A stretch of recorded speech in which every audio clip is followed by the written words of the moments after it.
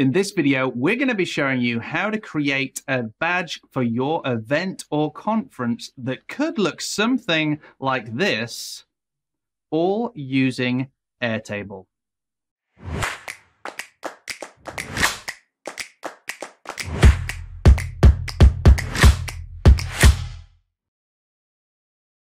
So in this video, we are assuming that you've already been using Airtable to build out your EMS for your event. If you haven't, be sure to check out our YouTube channel, which is constantly growing with new videos on how you can use Airtables as well as other platforms to add rocket fuel to your event organizing processes. Okay, so here what we're going to do is design a badge that you can provide to your printer to be printed out. And it's going to use the data that is inside of here in Airtable. So we can see here we have our paid users here. These are our paid attendees. We have some types here of speaker, sponsor, attendee, etc. Uh, we have some ticket IDs that we generated, and we've got some generic information on them. Now let's take a look at this particular um, ticket. Let's pop this full screen, and we can see that this could be used either as a ticket or as one of those lapel badges. And this is actually um, formatted with a custom size that will work for the printers. This was actually one that we did for last year, and we're changing the date on this. So you can see here we have our logo, we have a really nice background, we've got the speaker type here with a, again, branded background color, and we have the name um, and the company where that person is from. So let's take a look at the actual ticket itself. If I edit this layout, we can now see the page designer inside of Airtable and I can click on each one of these elements and you can see that we're pulling in a logo here. If I click on this element here, you can see we're pulling in a background. You can see here that this is text and so on and so forth. So I would like to build this from scratch so that you can see how this was built. So let's go ahead, close that and add a new page to this base. So the data set that we want to pull from is the attendees list.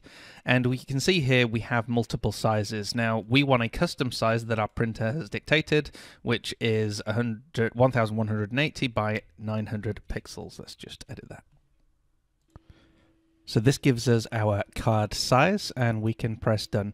Now here you can see if I was to edit the layout, excuse me, I can now start to drag in all of these elements. The first thing I want to do though is remove this name because it's not needed straight away and I want to drag in an image which will be our overall background layer. So let's resize this to fill most of the screen and then I'm going to grab the URL of the image we have hosted.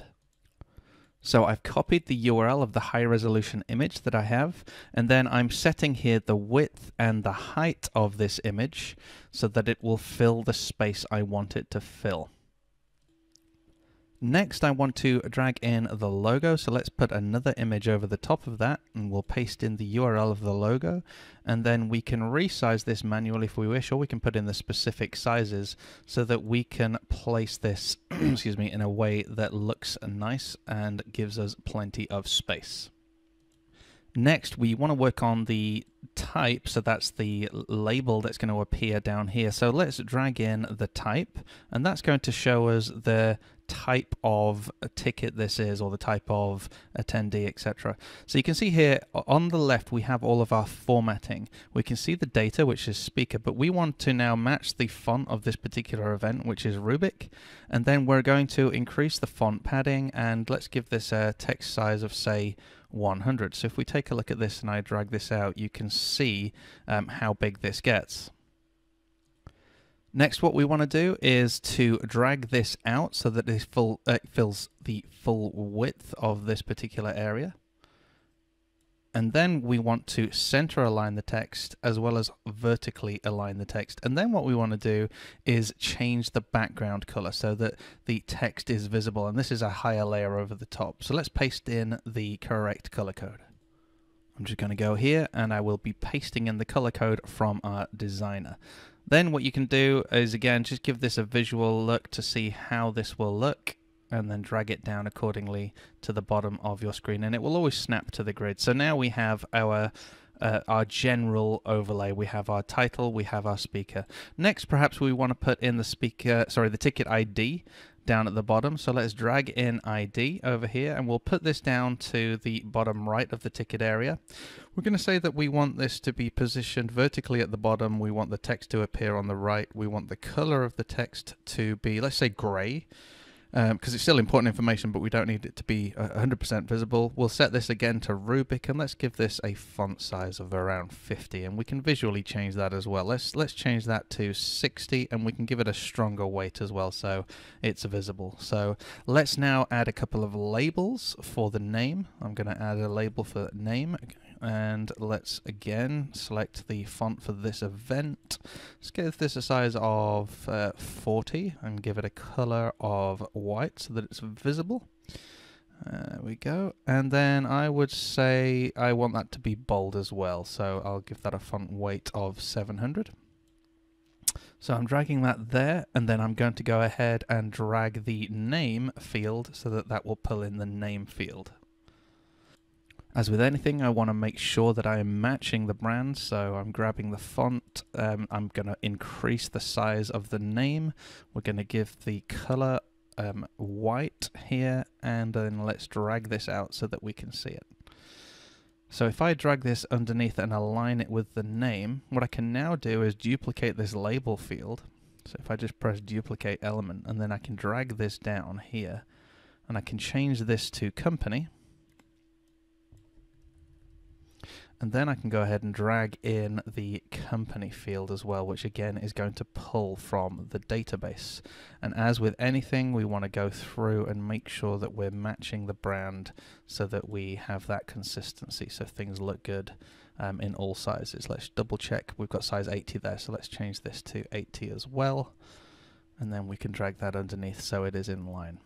Okay, so we have essentially here got a ticket uh, later design or a badge label design that is ready to rock and roll for Agency Transformation Live 2020. And if we go through the records, you can see that this changes according to the data that we have available. So ticket 15 is a speaker ticket for Lee Jackson from Event Engine, Tim Davis from Event Engine as a sponsor, uh, uh, ticket number 16, and then we also have Larissa Meikle from Angled Crown, she's an attendee, ticket 17, and obviously this would represent all of the data that you have, and then you can simply export all of these either as PDF you, um, or uh, you could print them directly to a printer if you already have a high quality printer at your event. Now, there are a couple of ways that you could do this for printing. If you want to pass this on to a print run, then if we go ahead and click on print here, we can either print the current record. So if I hit print and I can use the PDF generation tool here, then we can see a PDF of this one particular um, badge. But also what we can do is if I go ahead and hit print, go to records in a specific view, then I could filter this view. I could create multiple views and have say just all the speaker badges or all the attendee badges or just simply print everything. And then I can say print all records in this view, which is all the tickets, one per page, best quality, etc., whatever I want to select for this to go to the print run, and then I can press print and then use the uh, PDF generation tool here to see all these, save it as a PDF, and then send that over to the printers. Obviously, if you're using a high-res printer at the event, then you can do one ticket at a time, or you can do all of the tickets, etc. Let's just zoom this out so we can see all of the badges slash tickets that are available in this PDF that have been pulled from the data. So if you have any questions, then please do hit us up in the comments. We will do our best to help. Please be sure to check out our YouTube channel and subscribe for more great content like this showing you how you can use Airtables and other awesome tools to build out an EMS that really works for your events. Alrighty, we'll see you next time.